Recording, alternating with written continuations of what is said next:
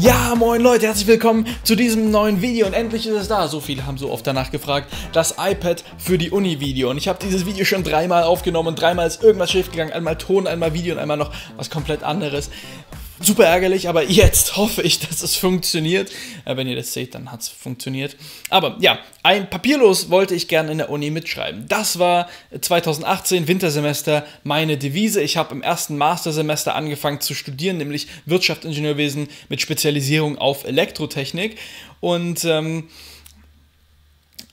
ob man jetzt ein Surface nimmt oder ein iPad oder mit was man auch immer mitschreibt, sei jetzt erstmal dahingestellt. Auf jeden Fall papierlos sollte es sein. Als Apple dann allerdings die neuen iPad Pros vorgestellt hat, ne, hier die mit dem, mit dem dünnen Rand, ich habe hier mal eins, also das ist meins, ähm, da habe ich mich ein bisschen in die Dinger verliebt, habe mir eins gekauft und ähm, ich muss dazu sagen, zu meinem Hintergrund, ich habe das allererste iPad gehabt, ich habe ein iPad 4 gehabt und ein iPad Mini der zweiten Generation mit Retina-Display und ich muss dazu sagen, dass ich persönlich denke, dass man kein iPad braucht im normalen Alltag, weil heute hat man große Handys, man hat Laptops und mehr braucht man einfach nicht und das macht das Video umso interessanter, weil ich dieses iPad wirklich fast ausschließlich für die Uni benutzt habe. Vielleicht mal noch, um da ein bisschen Netflix zu gucken oder so oder mal auf Reisen irgendwie noch ein Film dabei zu haben, weil halt der Bildschirm schön groß ist.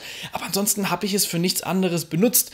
Abgesehen von dem, was ich getestet habe, um es in das Review zu bringen. Apropos Review, ihr findet hier oben äh, mein Review zum iPad Pro. Hat sehr viel Arbeit gemacht. Ich habe extra dafür eine Nebelmaschine gekauft. Also bevor ihr dieses Video guckt, schaut euch auf jeden Fall dieses Video an. Ich verspreche euch, das ist es wert, damit ihr alle Informationen zu dem Gerät habt.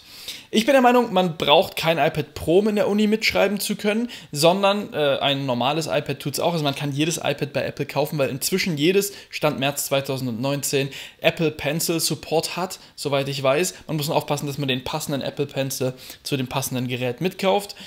Und ja, das ist eigentlich alles, was man braucht. Also man braucht nicht dieses Pro. Ich mag es, ich mag die 12,9 Zoll, weil sie halt ziemlich genauso groß sind wie ein A4-Blatt ohne Ränder. Nicht ganz, aber also ist ein bisschen anderes Formfaktor, aber äh, ansonsten passt das sehr, sehr gut. Und das finde ich klasse, weil das heißt, man kann einfach normal mitschreiben. Kann man natürlich auch mit einem kleineren iPad, dann nimmt man halt quer. So habe ich jetzt halt ein volles A4-Blatt, was ich quasi auch so beschreiben könnte. Und man kann ja einzoomen. Meine Programme der Wahl sind PDF Expert, das ist hier oben das Programm, und Notability, das ist hier unten das Programm. Das ist auch das Hauptprogramm und ich habe auch über den größten Konkurrenten nachgedacht, der heißt GoodNotes. Aber eine Sache daran hat mich gestört, nämlich dass GoodNotes seitwärts scrollt und ich finde einer der größten Vorteile überhaupt papierlos mitzuschreiben ist, dass man keine Seitenbegrenzungen mehr hat. Und da gefällt mir Notability dann doch besser, weil hier habe ich die Möglichkeit, unendlich lange Seiten zu machen, wenn ich das machen möchte. Ne, ich kann zum Beispiel hier mal äh, in eine Übung reingehen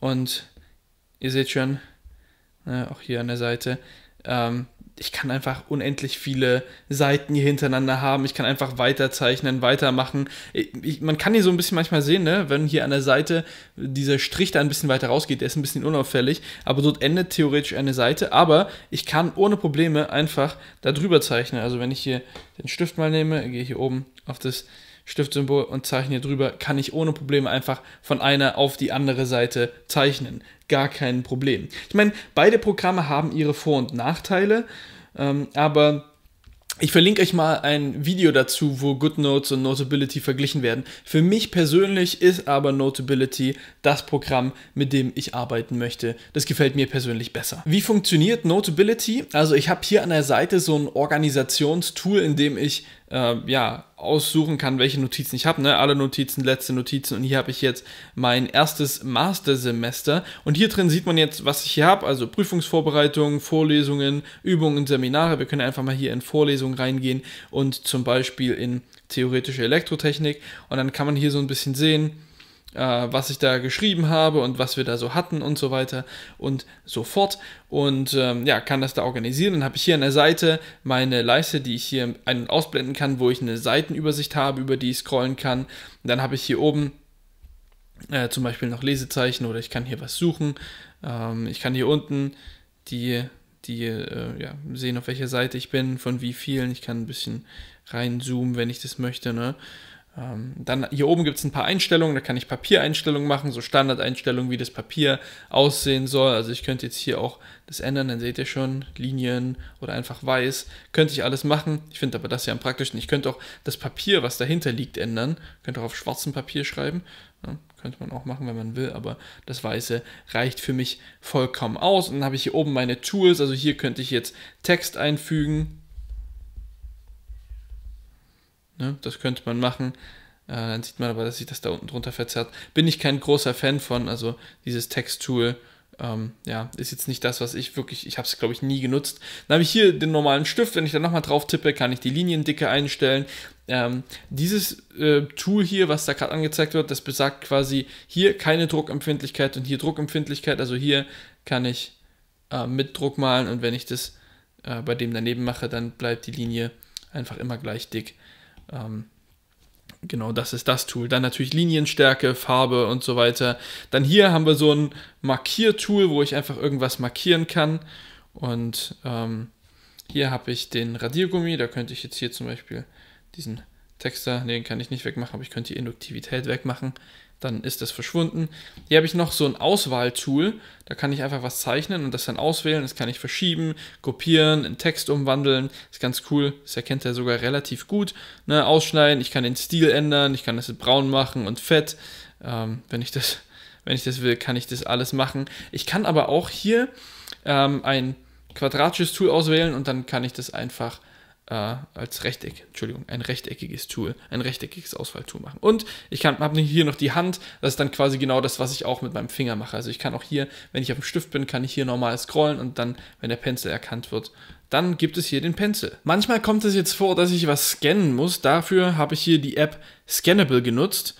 Und da kann ich einfach ein Dokument drunterlegen und dann wird das quasi als PDF gescannt. Dazu kann ich natürlich auch hier die, ähm, die Kamera, die das iPad hat, äh, verwenden. Und das ist einer der wenigen Gründe, wo ich denke, dass es gut ist, dass man eine Kamera hat, weil ich weiß nicht, wozu man die sonst braucht, aber zum Dokumente einscannen ist die klasse. In Notability gibt es noch ein paar weitere coole Features. Zum Beispiel hier oben eine Aufnahmefunktion. Dort seht ihr schon, da nimmt jetzt was auf und wenn ich dann hier irgendwas zeichne, zum Beispiel so, ne, hier irgendwie ein, ähm, keine Ahnung, oder ich schreibe, das ist ein Test Punkt und dann beende ich hier mal die Aufnahme. Und jetzt kann ich mir diese Aufnahme anhören. Ne? Und dazu sehe ich dann, was ich dazu gezeichnet habe. Eine Aufnahmefunktion. Dort seht ihr schon, da nimmt jetzt was auf. Und wenn ich dann hier irgendwas zeichne, zum Beispiel so, ne? hier irgendwie ein, ähm, keine Ahnung, oder ich schreibe, das ist ein Test und das ist schon ziemlich cool, dass ich also mir ja, Dinge merken kann, die ich zu irgendwas geschrieben habe, weil dazu bestimmte Kommentare kamen. Ich muss persönlich sagen, ich weiß, diese Funktion ist sehr mächtig, ich habe sie selber aber nie genutzt. Ähm, kann man aber viel, viel Spaß mit haben, wenn man das möchte. Und dann wenn ich das Ganze hier aufgeschrieben habe, kann ich das natürlich auch exportieren. Hier oben gibt es einen Exportieren-Button und da seht ihr schon E-Mail, Dropbox, Google Drive, OneDrive, Box, iTunes, warum auch immer iTunes, eigentlich ganz interessant, ne? iTunes PDF. Okay, äh, man kann es drucken, also wenn euer Drucker AirPrint unterstützt, könnt ihr das auch direkt ausdrucken. WebDAV oder in andere Apps. Die Funktion habe ich tatsächlich sehr, sehr häufig genutzt. Zum Beispiel hier Notiz erstellt. Äh, da wird dann ein PDF-Dokument erstellt, beziehungsweise das, was ich eingestellt habe. Und dann kann ich das hier zum Beispiel per AirDrop senden oder ich kann es in Notability, ich kann es in PDF-Expert senden oder in Telegram, was wir bei uns in der Uni sehr oft verwenden. Also könnte ich das jetzt hier einfach dann an jemanden senden. Und das ist eine sehr, sehr mächtige Funktion, dass ich wirklich das alles, was ich hier habe, als PDF-Dokument einfach irgendwo anders hinsenden kann. Und das lohnt sich sehr, sehr oft. Also wie oft habe ich Notizen an irgendwen weitergesendet oder eine Frage gehabt und das dann einfach mal kurz rüber gesendet oder auch einen Screenshot gemacht von Dingen und die einfach dann in Telegram gepostet, so dass mir jemand die beantworten konnte oder ich jemandem helfen konnte. PDF Expert ist auch ein sehr, sehr wertvolles Programm. Das Programm ist auch nicht ganz günstig. Ihr seht schon, dass ich hier einige Dokumente drin habe.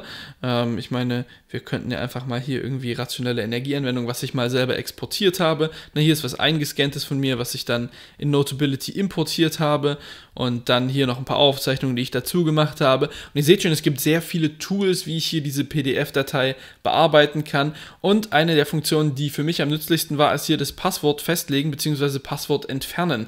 Wenn ich jetzt jemandem was gesendet habe, wollte das mit Passwort versehen, kann ich das hier drin machen. Oder ich bekomme ein Skript. Es gibt manche Professoren, die verwenden ihr Skript mit Passwort und dann kann ich das nicht in Notability importieren. Dann kann ich das hier einfach entfernen. Und also es gibt so, so, so viele Funktionen, die dieses Programm hat. Es gibt auch eine Desktop-App dazu und ich glaube, ein Video würde nicht reichen, um all die Funktionen, die dieses Programm hat, irgendwie auch noch aufzufassen. Ne? Gibt sogar hier ja, Wi-Fi-Übertragung, da kann ich hier mit, ähm, mit Kamera, kann ich dann auf, auf einem anderen Gerät scannen und dann kann ich das rüberbekommen. Es ist wirklich, wirklich beeindruckend. Ich kann es direkt mit Google Drive synchronisieren, damit es hier das synchronisiert, die ganzen, also es ist wirklich, ein mächtiges Programm. Wirklich ein richtig, richtig mächtiges Programm. Gab es Dinge, die ich nicht machen konnte dieses Semester?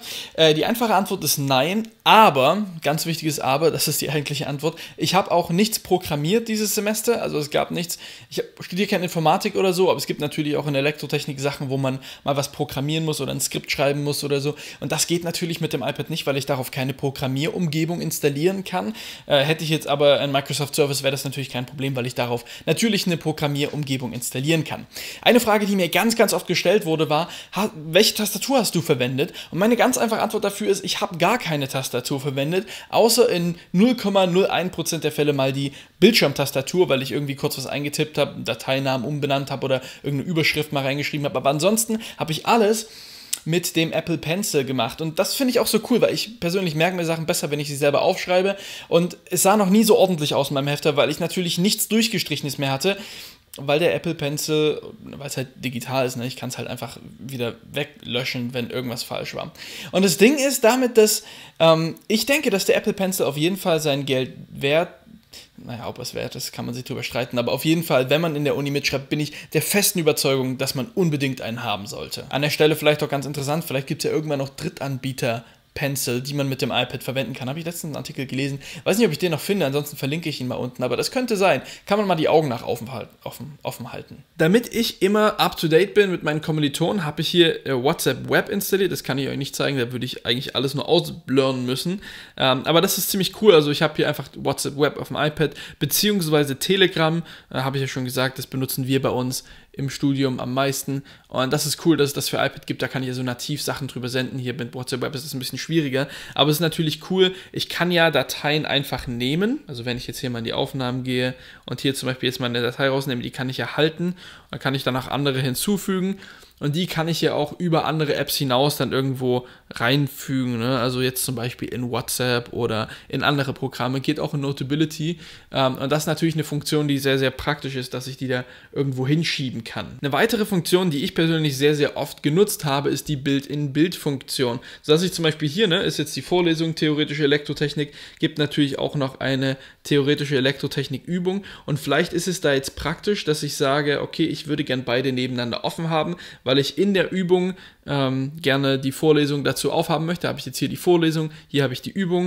Und wenn ich das jetzt kleiner mache, kann ich das hier ganz frei verschieben, wie ich das möchte, um das hier ja, abzuschreiben oder irgendwelche Informationen hinzuzufügen. Und ich kann natürlich auch dann andere Sachen noch daneben tun. Ne? Also jetzt zum Beispiel jetzt mal ein Beispiel von Twitter, könnte ich hier einfach äh, eine Bild-in-Bild-Funktion aufmachen. Und ich könnte sogar, wenn ich ganz cool bin, noch das muss ich dann jetzt wahrscheinlich, ja, vielleicht nehme ich hier mal den Browser, könnte ich den Browser noch drüber legen, dass der hier dann noch offen ist. Und dann sieht man jetzt hier, hatte ich letzt, zuletzt Tesla Model Y offen. Na, und dann habe ich jetzt hier gerade drei Programme gleichzeitig offen. Einmal Twitter, dann Notability, wo ich auch noch zwei Notizen gleichzeitig offen habe. Und dann noch hier einen Webbrowser, da kann ich also irgendwas nachgucken. Gleichzeitig kann ich dann was abschreiben. Es stellt euch hier jetzt die Fotos ab oder irgendeinen Messenger vor. Und dann schreibe ich das ab, um das hier ähm, zu Papier zu bringen. Es ist aber einfach praktisch, dass ich halt irgendwo hier auf eine Webseite gehen kann, ne, wo ich dann hier von der HTWK gibt es dann hier äh, verschiedene Sachen, die ich mir da irgendwie mal gespeichert habe, ähm, wo ich, keine Ahnung, irgendwelche Dateien runterlade. Man kann halt nichts vergessen. Bei manchen Profs ist es ja so, dass die ihre Sachen online stellen, aber dann äh, brauchst du die in der nächsten Vorlesung, hat man es vergessen, geht hiermit nicht. Ich lade die einfach runter, kann sie direkt in Notability importieren und dann erscheinen sie dort. Zum Beispiel könnte das so aussehen, dass ich jetzt hier einfach mal ähm, eine Vorlesungsseite aufmache und die möchte ich gerne importieren, dann kann ich die entweder über PDF-Expert oder direkt in Notability kopieren und dann hier einfügen. Da kann ich noch einfügen, ähm, ob die zu einer Notiz hinzu soll oder eine neue Notiz und dann kann ich die noch in irgendeinen Ordner verschieben, wenn ich das möchte. Also das ist wirklich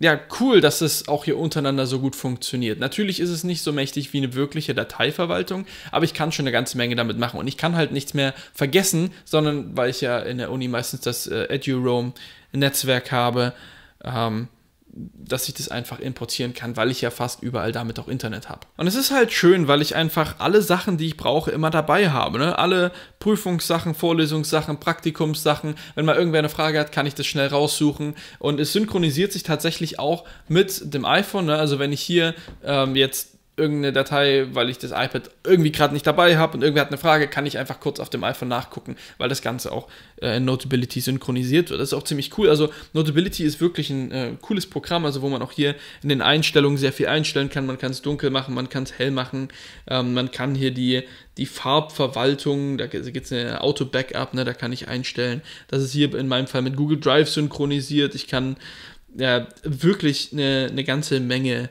tun ähm, dass ich das überall habe, wo ich das haben möchte. Und ich, also es ist einfach, ich mag das Programm. Insgesamt kann ich sagen, dass es mir dieses Semester sehr, sehr gut gefallen hat. Ähm, ich habe hier wirklich ungefähr die Größe eines A4-Blattes. Ich habe dadurch, dass ich die, ähm, die 120 Hertz hier mit dem Display habe, habe ich wirklich kaum eine Verzögerung. Also wenn ich das hier zeichne, ne, das könnte auch einfach mit einem echten Stift sein. Das ist wirklich nahezu ununterscheidbar. Ich meine, man kann es noch ein bisschen sehen, wenn man sich wirklich anstrengt, dann kann man sehen, dass vor allem, wenn es irgendwie jetzt doch schneller ist, weil wenn ich mal so weitere Kreise ziehe, ähm, dann ist es schon so, dass man es noch erkennen kann, dass das tatsächlich digital ist, aber es ist schon sehr nah an perfekt. Es gibt ein paar Sachen, es gibt ein paar Abnutzungsspuren, ne? das hatte ich auch schon im iPad Pro Review gezeigt. Ich muss mal kurz gucken hier an welche Ecke. Also hier unten an dieser Ecke, da muss ich mal kurz darauf fokussieren. Da sieht man schon, da ist ein bisschen Abnutzung, einfach weil ich natürlich auch immer einfach in den Rucksack werfe, nur mit dieser Hülle hier drum. Es ist schon auch wichtig in meinem Fall, dass, äh, weil das iPad so dünn ist, dass es hier auch es hat eine, die, die Hülle, die ist hinten, ich weiß gar nicht, wie ich das am besten zeige, aber diese Hülle, die ist hier hinten verstärkt.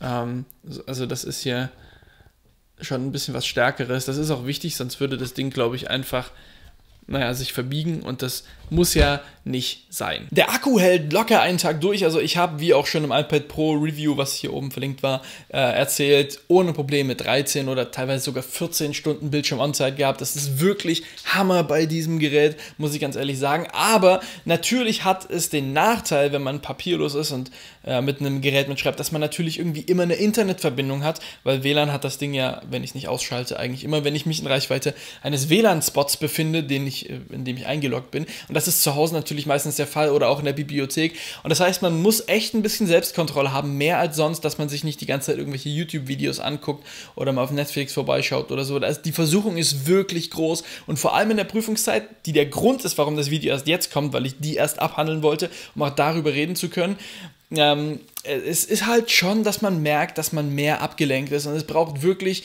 viel Selbstkontrolle, um das zu verhindern, dass man wirklich die Sachen macht, die man machen möchte und die man machen muss. Ganz, ganz, ganz wichtiger Punkt. Zu guter allerletzt möchte ich euch noch die Apps zeigen, die ich bei mir installiert habe, äh, falls da jemand fragt. Also ähm, die Apps, die ich persönlich am meisten genutzt habe, waren Notability, ähm, ich habe viel Telegram, viel WhatsApp genutzt, äh, PDF-Expert sehr oft, auch hier mal OneNote. Äh, da habe ich auch mal ein paar Notizen drin gemacht, natürlich auch, weil ich das auch hier zum Arbeiten mit verwende. Es ist ganz praktisch. Äh, Google Maps ist auch ganz praktisch, wenn man in der Vorlesung mal nichts zu tun hat, kann man sich da ein bisschen umgucken. Ähm, aber ansonsten sind das eigentlich so die hauptsächlichen Produktivitäts. Ich glaube, ich habe nie in diesen Ordner reingeguckt. Also gerne. Ich glaube wirklich, vielleicht Google Drive mal noch. Das ist ganz praktisch. Und Snapseed, wenn man mal irgendwie noch was bearbeiten wollte, was man irgendwem sendet. Vielleicht guckt man mal ein bisschen Netflix, wenn man gerade mal eine Pause hat. Gibt noch so verschiedene äh, Programme, so wie Grafiktaschenrechner und so. Das hängt ein bisschen davon ab, was man macht. Ähm, aber an sich, ja, ich glaube, das sind so die Programme, die ich. Also wirklich, ähm, Notability, mein Favorit an Mitschreibeprogrammen ähm, Telegram, WhatsApp, das ist eigentlich so mit PDF-Expert zusammen das, was ich hauptsächlich genutzt habe und was ich hauptsächlich mit dem iPad mache, wenn ich es für die Uni benutze. Zum Ende hin kommt jetzt die Frage, denke ich, dass es sich lohnt? Ist es das wert? Und ich bin 100% der Meinung, ja, ich werde auch die nächsten Semester wieder äh, papierlos mitschreiben mit dem iPad, weil ich es wirklich klasse finde. Es ist einfach, es ist mobil, es ist wirklich, man kann nichts vergessen und so. Es ist einfach klasse. Äh, für mich auf jeden Fall, ich werde es wieder so machen. Jetzt zum Schluss kommt kommen wir noch zu ein paar Fragen, die ihr mir gestellt habt. Ich frage regelmäßig bei neuen Videos, ob ihr irgendwelche Fragen habt, die ihr zu den Produkten, zu den Themen wissen wollt. Äh, meistens auf Instagram per Story. Und wenn ihr da mit äh, teilnehmen wollt und wissen wollt und äh, ja, Fragen stellen wollt, dann folgt mir auf Instagram. Ihr seht hier gerade die sozialen Netzwerke eingeblendet. Äh, Instagram ist hier das meiste und natürlich auch Twitter, das sind so die beiden, auf denen ich am meisten aktiv bin. Kommen wir jetzt zu euren Fragen. Reicht die Displaygröße des 11 Zoll iPad Pro oder gibt es mehr Sinn, das 12,9 Zoll Modell zu nehmen? Ich persönlich mag das 12,9 Zoll Modell, wie schon gesagt, weil es ziemlich genauso groß ist wie ein A4-Blatt. Allerdings gilt das, wenn es hochkant liegt. Wenn es natürlich breit ist, ist es immer noch so groß wie ein A4-Blatt, aber halt quer. Aber das braucht man nicht unbedingt. Ich kann natürlich auch ohne Probleme mit dem 11 Zoll iPad, 10 Zoll äh, iPad. Ich denke, die 7,9 Zoll, glaube ich, von den iPad Minis, das wäre mir persönlich ein bisschen zu klein. Aber alles, was größer ist, ist ohne, wirklich ohne Probleme mit Schreiber. Man nimmt das iPad dann halt einfach quer. Ist iOS wirklich die beste Plattform für diese Anwendung? Gute Frage. Ich würde sagen, meine Antwort ist Jein, weil natürlich, wenn ich zum Beispiel Informatik studiere, dann definitiv Nein, weil ich eine Programmierumgebung brauche. Wenn ich allerdings äh, zum Beispiel VWL, BWL studiere, Wirtschaftsingenieurwesen, je nachdem, welche Spezialisierung man da hat, welche Programme man braucht, denke ich schon, weil iOS sehr einfach ist. Es funktioniert oft wirklich einfach und das ist klasse. Und die Akkulaufzeiten stimmen halt bei all den iPads. Und von daher würde ich da auf jeden Fall ein Ja geben. Ist manchmal ein karierter Block plus Kuli nicht trotzdem alternativlos? Ich habe dieses Semester genau sechsmal einen Zettel und einen Stift in der Hand gehabt und benutzt. Das musste ich. Nämlich für die sechs Prüfungen, die ich geschrieben habe. Ansonsten habe ich alles andere, wirklich 100% alles andere papierlos machen können. Also es war keine Alternative, die ich gebraucht habe außer halt für die Prüfungen. Würdest du dir eine Maus wünschen? Ich persönlich hatte nie das Bedürfnis, dass ich eine Maus brauchte. iOS unterstützt ja auch keine Mäuse, sollte man wissen. Ne? Also gibt keinen Maus-Support für iOS.